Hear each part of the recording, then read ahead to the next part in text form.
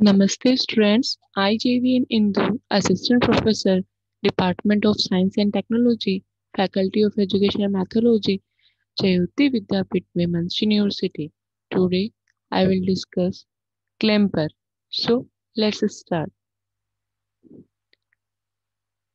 a circuit which adds D C value to an A C waveform without changing its shape students clamper एक ऐसा circuit होता है जो AC waveform के अंदर डीसी वैल्यू को ऐड करता है विदाउट चेंजिंग इट्स शेप। जैसा कि क्लिपर में हम लोगों ने क्या पढ़ा था कि क्लिपर क्या कर देता है, जो अनवांटेड पोर्शन होता है वेवफॉर्म का, उसको वो क्या कर देता है, क्लिप कर देता है, रिमूव कर देता है। बट क्लैम्पर एक ऐसा सर्किट होता है जो इनपुट वेवफॉर्म की शेप चेंज नहीं करेगा। शेप एज इट इज़ वो ही रहेगी बट ये क्या कर देगा? जो ऐसी वेवफॉर्म है इनपुट के अंदर, उसके अंदर डीसी वैल्यू ऐड कर देगा। तो क्लैम्पर सर्किट ओनली क्या करेगा? डीसी वैल्यू ऐड करेगा ऐसी वेवफॉर्म के अंदर without changing its its shape इसके अंदर ये शेप को चेंज नहीं करेगा। A clamper is used to reinsert DC voltage level into an AC waveform.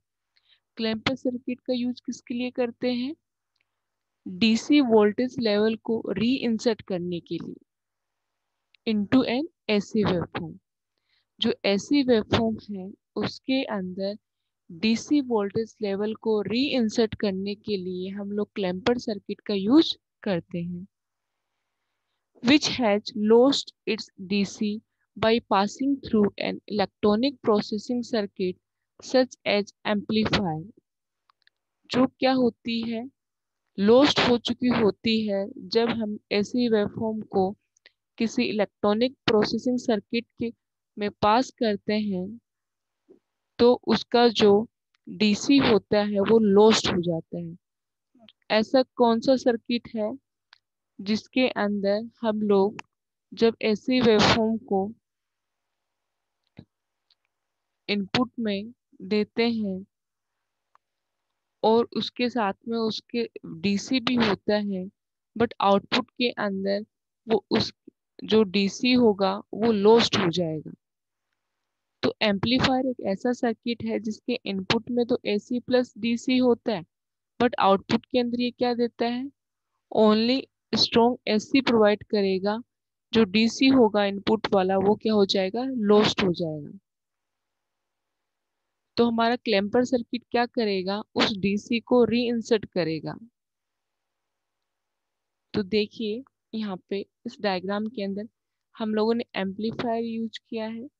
Amplifier के इनपुट में क्या है? वीक सिग्नल है। उस वीक सिग्नल में क्या क्या है एसी प्लस डीसी है।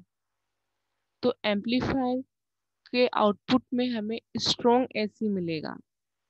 पहले जो इनपुट में वीक एसी प्लस डीसी था तो ये आउटपुट में एम्पलीफायर क्या देगा? ओनली स्ट्रॉन्ग एसी प्रोवाइड करेगा।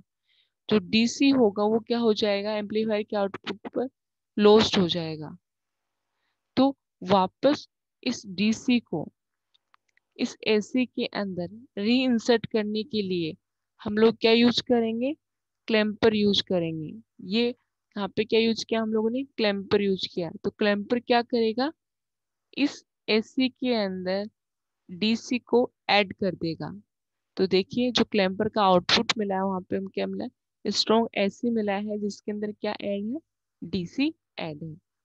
तो बेसिकली हमारा क्लैम्पर सर्किट जो होता है, उसका यूज़ हम लोग जो एसी वेवफॉर्म होता है, उसके अंदर री इंसर्ट कर डीसी वोल्टेज लेवल को री इंसर्ट करने के लिए करते हैं। बट जो क्लिप क्लीपर सर्किट होता था क्लीपर सर्किट का यूज़ किस लिए करते थे?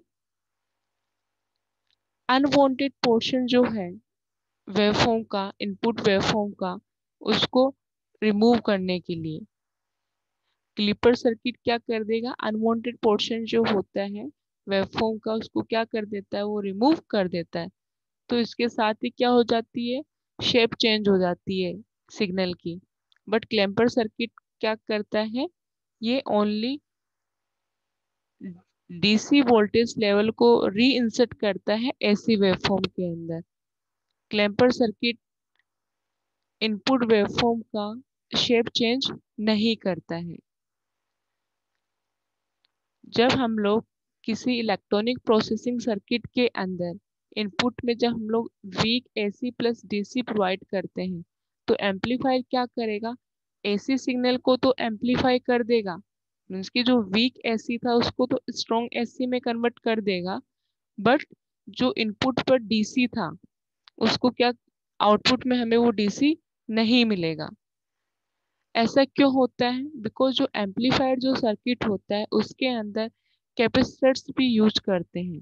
और कैपेसिटर क्या करता है? एसी सिग्नल को तो अलाउ करेगा वो, बट डीसी सिग्नल को क्या कर देता है? ब्लॉक कर देता है। इसीलिए हमें एम्पलीफायर जो सर्किट होता है, वो ओनली हमें स्ट्रॉन्ग एसी प्रोवाइड करता है डीसी प्रोवाइड नहीं करता है। तो इस वजह से जब इनपुट में एम्पलीफायर के वीक एसी प्लस डीसी है तो हमें आउटपुट में only strong DC strong AC मिलेगा। जो डीसी होगा वो लॉस्ट हो जाएगा। क्यों लॉस्ट हो जाएगा? बिकॉज़ एम्पलीफायर सर्किट में हम लोग क्या यूज़ कर रहे हैं? कैपेसिटर यूज़ कर रहे हैं, जो क्या करता है? डीसी को ब्लॉक करता है। तो वापस इस एसी सिग्नल के अंदर डीसी को रीइंसर्ट करने के लिए हम लोग क्या क्या यूज़ करेंगे? क्लैम्पर यूज़ करेंगे। तो क्लैम्पर क्या कर देगा? इस स्ट्रॉन्ग एसी के अंदर जो डीसी लॉस्ट हो गया था, उसको क्या कर देगा? ये री इंसर्ट कर देगा ऐड कर देगा।